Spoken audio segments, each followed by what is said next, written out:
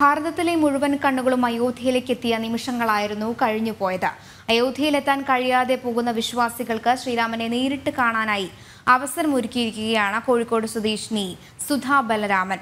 റെയിൽവേയിൽ നിന്നും retired reservation സൂപ്പർവൈസറായി വിരമിച്ച സുധാ പച്ചരി കൊണ്ട് മനോഹരമായി ശ്രീരാമചിത്രം തീർത്തിരിക്കുകയാണ്. വിശ്വാസികൾ വർഷങ്ങളോളം കാത്തിരുന്ന നിമിഷം എന്നാൽ പ്രാണപ്രതിഷ്ഠാ ചടങ്ങിൽ പങ്കെടുക്കാൻ എല്ലാവർക്കും സാധിക്കുകയുമില്ല.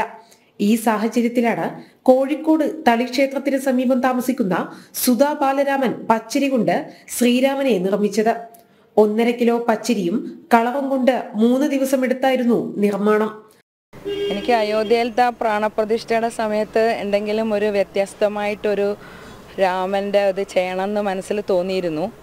അപ്പോൾ നമ്മളെ വീടുകളിലൊക്കെ അക്ഷതവും ആ ഒരു അയോധ്യേന്റെ ആ ഒരു പിക്ചറും കൊണ്ടുവന്നപ്പോൾ എന്റെ മനസ്സിൽ തോന്നിയതാണ് രാമവിഗ്രഹം അരി കൊണ്ട് തന്നെ ചെയ്യണം എന്നുള്ളൊരാഗ്രഹം അരിമണിയിൽ തീർത്ത ശ്രീരാമചിത്രം കാണാനും ഫോട്ടോ എടുക്കാനും പ്രാർത്ഥിക്കാനുമായി നിരവധി പേരാണ് ഇവിടെ എത്തുന്നത്.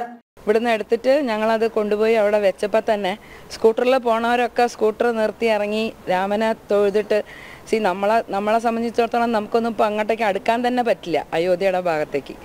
അപ്പോൾ എല്ലാവരും ഇവിടെ രാമനെ കണ്ട ഒരു സന്തോഷമായിരിക്കാം. എല്ലാവരും വന്ന് അവിടെ തൊഴുന്നുണ്ടായിരുന്നു.